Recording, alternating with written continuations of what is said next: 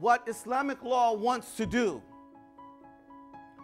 is, in a sense, ensure that nobody's biases, nobody's history, nobody's perspective, all right, is acquiring the status of what?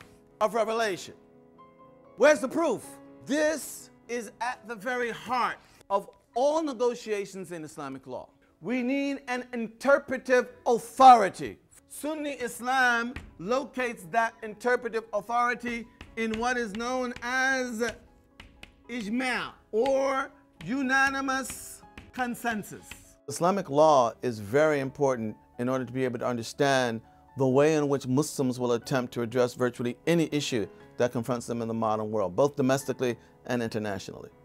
The only doctrines that are deemed to be divinely protected from error are those on which there is a unanimous consensus. You would have unanimous consensus on things like murder is forbidden, adultery is forbidden, praying five times a day is obligatory. You'd have consensus on things like that.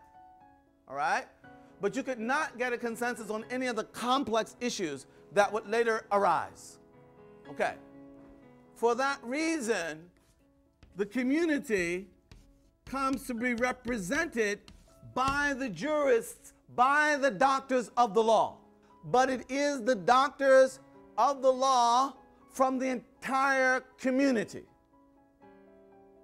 The fact, however, that Muslims only recognize a view that's backed by unanimous consensus to be binding means that where you don't have that consensus, you have all kinds of views, and Muslims simply have to agree to disagree.